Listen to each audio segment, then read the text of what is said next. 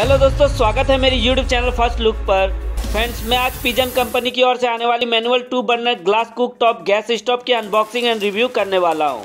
मैं आपको बता दूँ, मैंने इसे फ्लिपकार्ट से two thousand three hundred rupees में बाई किया है। साथ ही आपको कॉम्बो ऑफ़र में दो non stick cookware fry pan और फ्लैट तवा बिल्कुल फ्री मिलता है। वो भी एक साल वारंटी के साथ। ये instruction manual cum warranty card है। फ़र्स्ट टाइम यूज़ करने से पहले इंस्ट्रक्शन को ध्यान से पढ़ लें। जी हाँ दोस्तों, ये फाइव लेयर टेफलॉन कोटिंग के साथ डिज़ाइन किया गया 240 mm साइज़ वाला नॉन स्टिक फ्राई पैन है, जो एल्युमिनियम से बना हुआ है। इसमें हीट रेसिस्टेंट हैंडल दिया गया है, जिसके ऊपर बड़े साइज़ की स्लिट होने से आप आसानी से हैंग कर पाओगे।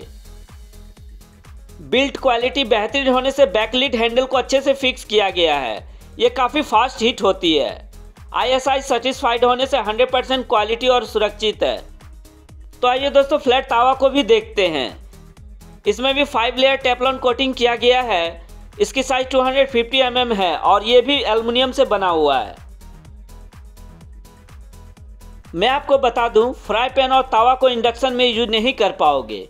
तो चलिए दोस्तों, रखते से साइड में और देखते हैं कैसा है पिजन की two burner black glass top gas stove यहाँ पर कंपनी की ओर से कुछ शर्तों के साथ टू इयर्स मैन्युफैक्चरिंग वारंटी मिल जाता है।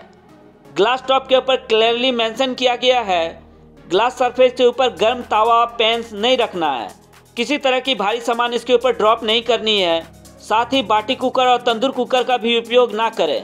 हालाँकि सरफेस टफ एंड ग्लास कठोर कांच से बनी हुई है।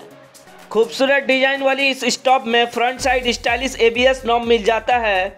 वहीं right hand side gas inlet दिया गया है। बैक साइड प्लेन सरफेस में है। Left hand side change over gas inlet का ऑप्शन मिल जाता है। पेन सपोर्ट को कुछ इस तरह से सेट कर लें, जैसा कि मैंने दिखाया है। यह आसानी से सेट हो जाती है। पेन सपोर्ट की बेस फिक्स होने के कारण ये मूव नहीं होती है, जो अच्छी बात है। ओवन को यूज़ करने से पहले बर्नर रिबन को रिमूव कर लेना। गैस रेगुलेटर नोब पर ऑफ़ ऑन सीम मेंशन किया हुआ है। नोब की क्वालिटी मेरे को कुछ खास नहीं लगी। हालाँकि फ्लेम की प्रेशर काफ़ी अच्छी है। स्टोव की अंदर की तरफ़ देखें तो फॉर्मेशन काफ़ी अच्छे से की गई है। बॉडी मटेरियल स्टेनलेस स्टील होने के कारण इस स्टोव की ड्यूरेबिलिटी ज़बरदस्त है। दोस्तों, मैंने इसकी बाय लिंक डिस्क्रिप्शन बॉक्स में दे रखी है। और हाँ वीडियो अच्छी लगी हो तो लाइक, सब्सक्राइब और बेल बटन को दबाने ना भूलें। दूसरे सामानों की रिव्यू देखनी हो तो यहाँ पर क्लिक करें। Okay friends, take care and bye